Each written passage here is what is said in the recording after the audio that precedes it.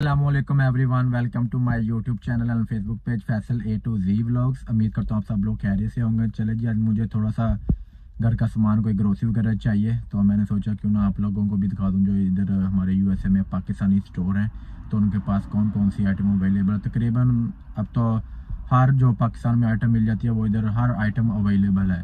तो चले जी, चलते हैं स्टोर में और आपको दिखाते हैं।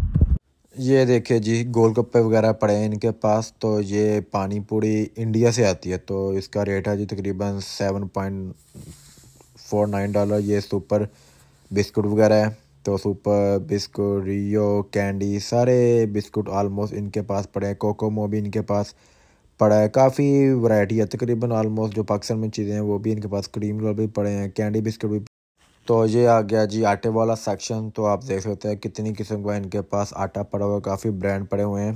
तो जो ये सारा आटा आता है, ये सारा मेड इन इंडिया तो ये ये वाला जो हम घर में इस्तेमाल करते हैं, धनराज वाला तो ये वाला आटा बहुत अच्छा सेम टू सेम ऐसे लगता है जैसे पाकिस्तान वो हमने खुद गंदम लेकर आटा पिसवाया हो तो रोटी भी बिल्कुल बहुत अच्छी इसकी बनती है। तो ये देखिए, ये सारे ब्रांड जो आटे के हैं जो सब इंडिया वगैरह से आते हैं। तो आटे के बाद मैं आपको दिखाता हूँ ये मसाले वगैरह।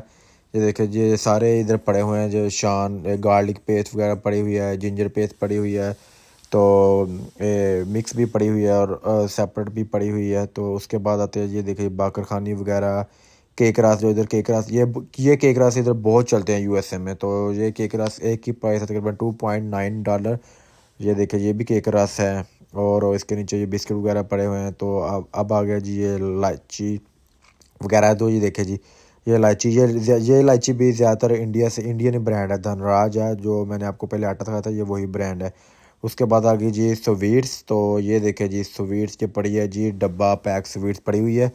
तो इसमें मोस्टली ब्रांड लाइक इंडिया तो ये वाला रेड वाला ये भी है जी, पाकिस्तानी और ये शदान जूस, ये पाकिस्तान में बहुत पिए इधर भी अवेलेबल है जी, उसके बाद ये स्टिंग भी पड़ी है, इधर ये दे सकते हैं जी स्टिंग गैटर वगैरह पड़ा है एनर्जी ड्रिंक और इधर कोई और जूस वगैरह पड़े हुए हैं, वो एप्पल जूस फ्रूट जूस और उसके बाद आ गया जी, ये क्रॉकरी वगैरह आप देख सकते हैं जी, इसमें आप तवे वगैरह पड़े हुए हैं, और कुछ बर्तन वगैरह पड़े हुए हैं कुकर प्रेशर कुकर वगैरह पड़े हुए हैं इनके पास, काफ़ी सामान है इनके पास, तकरीबन, ये देख सकते हैं जी, ये इधर इनके पास ये पड़े हुए हैं जी ए, ये भी तवे वगैरह आ गए और उसके बाद ये देख सकते ये पतीले वगैरह आ गए।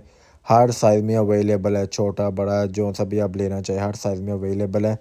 और ये ऊपर थोड़ा सा कोई और सामान पड़ा हुआ है कोई टावल वगैरह पड़े हुए हैं।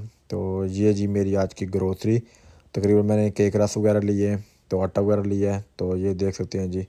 तो इतनी चीज़ों पर तकरीबन एटी डॉलर लग गए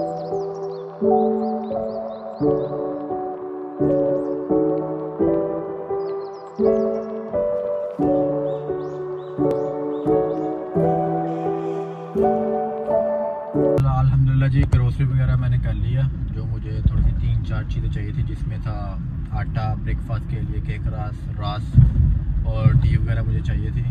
और मुझे थोड़ी सी इलायची सौंफ वगैरह भी चाहिए थी। माशाल्लाह वो मैंने सारी अपनी शॉपिंग वगैरह कर ली है। तो इधर भी हमारे कैलिफ़ोर्निया में काफ़ी महँगाई हो गई है। बाकी स्टेट सस्ती है, लेकिन इधर कैलिफ़ोर्निया कुछ ज़्यादा महँगी है। तो तकरीबन इन इन तीन चार चीज़ों पर तकरीबन लगे जी सेवेंटी यू एस डॉलर लगे आलमोस्ट पाकिस्तानी अठारह से बीस हज़ार।